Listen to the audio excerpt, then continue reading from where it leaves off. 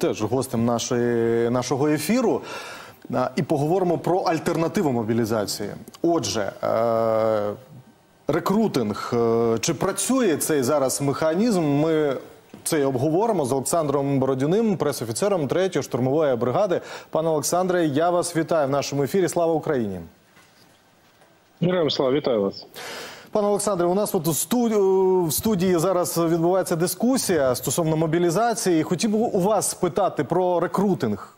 Третю штурмову на... називають таким зірцем цього процесу. Розкажіть, як вдалося налагодити цей процес?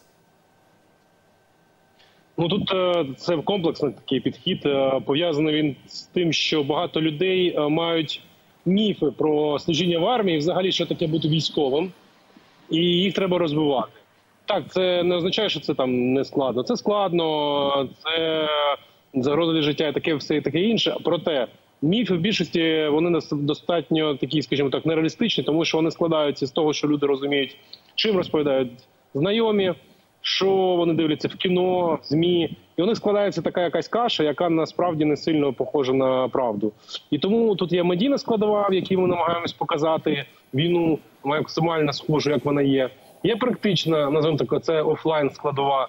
Е, ну, до прикладу, як тиждень штурмовика, як коли людина без зобов'язань, а це, до речі, дуже важливий елемент, коли тому, що коли вступає в армію людину, немає оцього середнього моменту, скажімо, тестового. Тобто ти або цивільний, або вже військовий і без варіантів. А от тиждень штурмовика це спроба, от, е, щоб людина прийшла і тиждень про- прожила як штурмовик. Ясна річ, це не е, вона не потрапляє на фронт, вона знаходиться в тилу, але хоча б на рівні е, побутовому, фізичних навантажень, е, ну і взагалі дисципліни військової, вона може для себе зрозуміти. І саме головне, що в будь-який момент може піти, ніяких зобов'язань вона не має перед нами і перед армією. От такими підходами, скажімо так, частково можливо, як це роблять там комерційних структурах. е, Можливо, долучити і розбивати міфи. До прикладу, після тижня штурмовика більшість людей кажуть: ну я думав, що буде гірше, ну в сенсі буде складніше для мене, чи я не думав, що я не готовий для цього, а виявилося, що готовий. Тобто, от такі моменти дуже важливі. А враховуючи от, е, ваш власний досвід, окрім піхотної складової, де може ще ре- реалізувати себе рекрут? Дуже багато. Це, до речі, третій такий пункт можна зазначити, що більшість, ну як уявляють, часто люди кажуть, я там е, буду там, от як мене демобілізують, то чи мобілізують, і я буду там копати окопи на нульовій лінії через тиждень. Ну, по-перше, це не так, тому що проходить щонайменше у нас дуже велика кількість часу на підготовку, це місяця. А не тільки на базову підготовку, там умовно КМБ, а ще й додатково.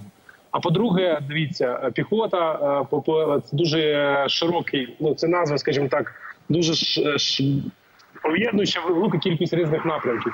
От це з одного боку. По-друге, є аеророзвідка, є взагалі робота з дронами. У нас зараз на цей напрямок сильно ми працюємо і розбудовуємо нові підрозділи всередині бригади. Є артилерія, є велика кількість тилових служб. А на тилу ми беремо більше західну модель, в якій насправді нам на одного бійця декілька тиловиків. Тобто, щоб він був одягнений, все логістика працювала, е, все підходило, БК підходило. Це дуже важливо, особливо як коли ти е, у тебе напрямок штурмовий. Тому насправді е, людина, якщо не йде в армію, то у неї багато варіантів реалізуватись відповідно до її навичок. Але я хотів би зазначити, що враховуючи зараз і мобілізацію, і таке інше, зараз ідеальний час для того, щоб самому вибрати, е, куди ти хочеш, який підрозділ і на яку власне напрямок роботи. Краще не, очікувати повістки, а краще проявити ініціативу в цьому.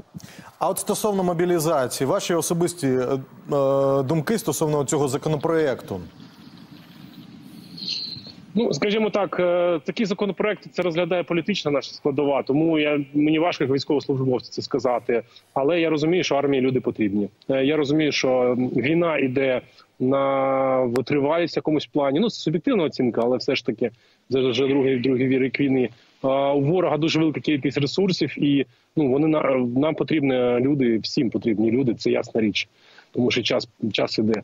Тому тут е, скоріше питання до цивільних, які трішки не розуміють цього і, ну скажімо так, не намагаються не приймати реальність таку, яка вона є. Дякую вам дуже, пане Олександре, за цю розмову, за те, що ви знайшли можливість доєднатися до нашого ефіру. Гарного і безпечного вам дня. Дякую. Я нагадаю, це був Олександр Бородін, пресофіцер 3-ї штурмової бригади.